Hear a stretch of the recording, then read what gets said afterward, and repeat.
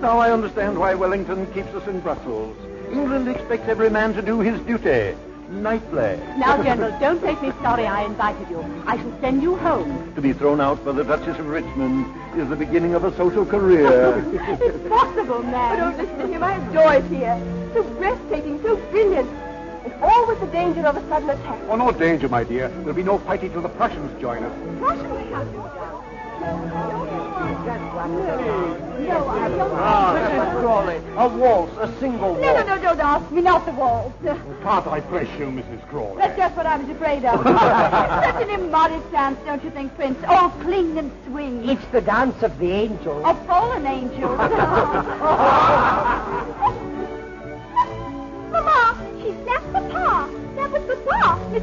Slapped. Pay no attention, Blanche. You're too fine to notice such vulgarity. Oh, that slap. What memories it evokes. Would you believe, Mom, Mrs. Crawley honored my ears once by, by slapping him? Why, the inelegant creature. Whatever induced us in Richmond to invite a mere little ex-governess? Well, let me leave, gentlemen. I'm weakening. I find it impossible to choose from among you. then choose me, Becky. Becky? Don't you know me? Have I changed so much in these few years? Oh, no, it isn't true. It can't be. It's not Joseph Sedley. The name sounds familiar to me, Mom. By George, Becky, it's good to see you. You haven't changed a bit. I could have picked you out from amongst the regiment. I'm still the same little girl who wasn't good enough for you to marry. Oh, don't say that, Becky. You know I'd have married you in a moment if it hadn't been for those elephants. You know, it was Father who shipped me off to India to hunt the blasted pachyderm. I know your dear little sister Amelia told me all about it. But then, uh, what were you doing in India, John? Your son? Becky, you, you blackened my character. No, I collected taxes and butterflies for a prince. I gave him a lot of butterflies.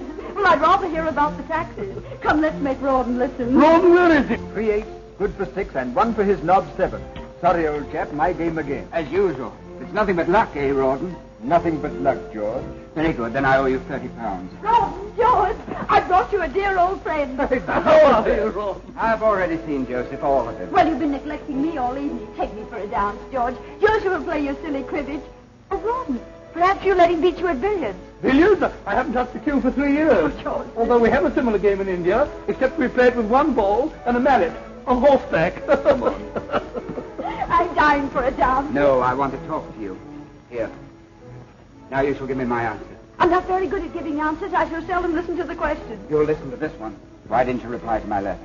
Because only very silly people put such things in writing. Rawdon can read, you know.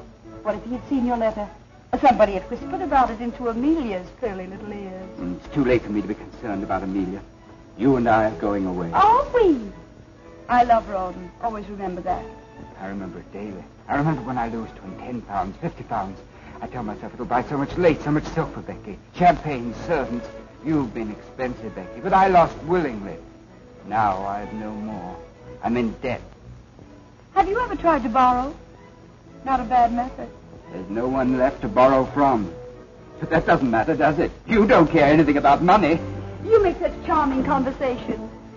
Why do you deprive Amelia of it? Becky, listen to me. No, no, I don't want to go in there. I can't bear to see them together. Becky on George's arm. George is either dancing with her or, or losing at cards to her husband. Oh, William, I, I can't do anything. I'm helpless. I'll take Becky for a dance. And after the dance, she'd find him again. Trust her. Oh, if I could only make George understand. And there's another thing I didn't like about your letter. You misspelled every other word. Oh, hang my spelling. Don't play with me. Is there someone else? No. Who is that man? Oh, I intended just a homey, intimate affair. A little singing, dancing. Oh, my dear, dear Lord Steyne. Dear Lord Steyne, I've been looking for you. I thought you were hopelessly lost. Your Grace, you must blame the Polish ambassador. Ah, diplomatic secret? Not at all. The ambassador has too pretty a wife. She has run me over completely to the Polish cause. At least to the better half of the Polish cause. Tell me, what is his name? I want to know. How perfect your instincts are, Becky. The Marquis of Steyne, Steyne with his millions. Bigger game, eh? Do do tell me about Napoleon. I'm so interested in him. Is there any danger here in Brussels? No, madam, as far as I know, Napoleon is many leagues away. Is it true that the King of Prussia is bent on leading his own army? Freddie. Freddie lead an army. I wish I could whisper to you what the Tsar Alexander told me about that. My lord, you hobnob with all the crowned heads of Europe. No, only with those that still remain on their royal shoulders. You see, dear Lady Bareacres, royal heads have been known to hop away from their bodies, especially in France. Remarkable how many people managed to come tonight. Lady Blanche, I was so sorry to hear about your mother's misfortune. I do hope the operation was successful. Operation, lady. Just think of her going blind at her age, and now she can't recognize even acquaintances. These are glass eyes you're wearing, aren't they? Perfect, perfect. I do hope they'll continue to attract men. Oh!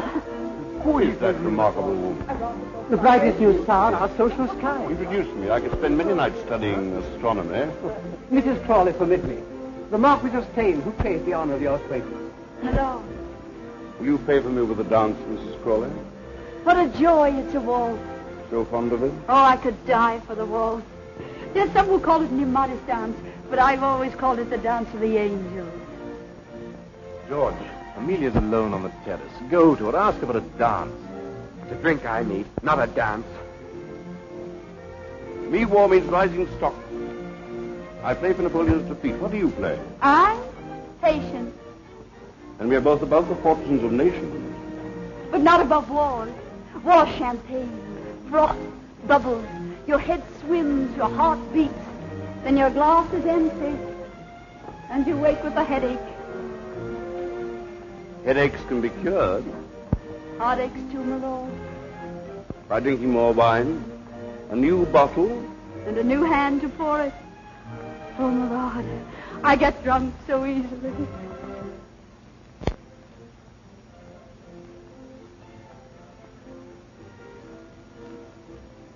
Are we both waiting for a light in that sky, madam? Yes, I want this night to end. I don't want the dark. Heaven help us if it ends too soon. If light comes before it's due. Oh, Your Grace, Who is that man? Duke of Wellington. Oh. What's there in the distance? There, a village, small village, Waterloo or some such name. and then they went on from there.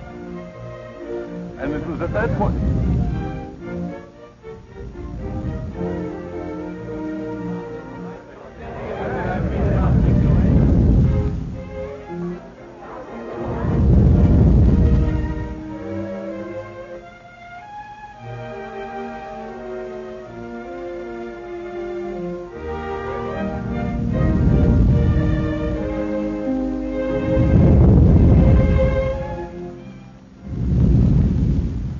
Was that? You hear it? Listen again. Cannon? Thunder? Artillery? Oh, must be a thunderstorm. Come on, I say, was, was that a cannon?